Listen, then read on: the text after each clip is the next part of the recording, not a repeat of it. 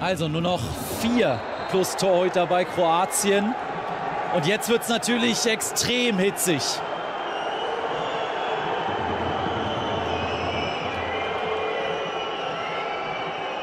Unparteiischen sind gefordert.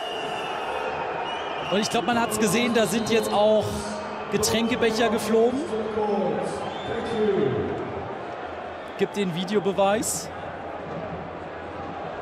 Anders als beim Fußball gibt es keine Schiedsrichter, die von außen eingreifen und dieses Element ins Spiel bringen können. Das können nur diejenigen, die für die Partie verantwortlich sind, nämlich diese beiden in dieser Begegnung. Und die wollen sich das jetzt nochmal angucken.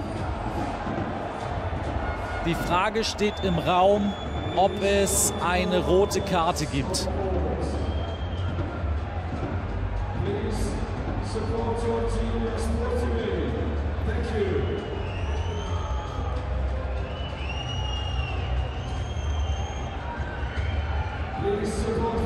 Also Mahé bekommt den Ball.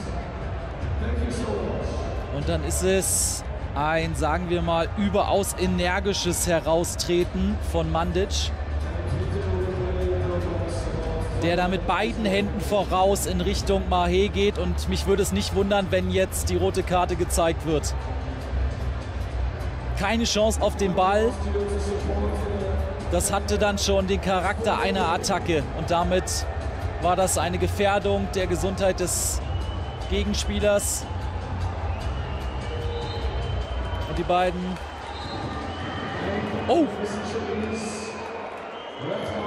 Bewerten das auch als Schlag, als Attacke, geben Mandic die rote Karte und zeigen hinterher die blaue Karte. Das ist etwas, was jetzt nicht so häufig der Fall ist. Anders als im Fußball gibt es häufiger eine rote Karte im Handball, ja. Aber die blaue ist dann doch eher selten. Bedeutet, dass es da noch ein Nachspiel gibt, dass da noch geprüft wird, ob es eine längere Sperre für David Mandic geben wird.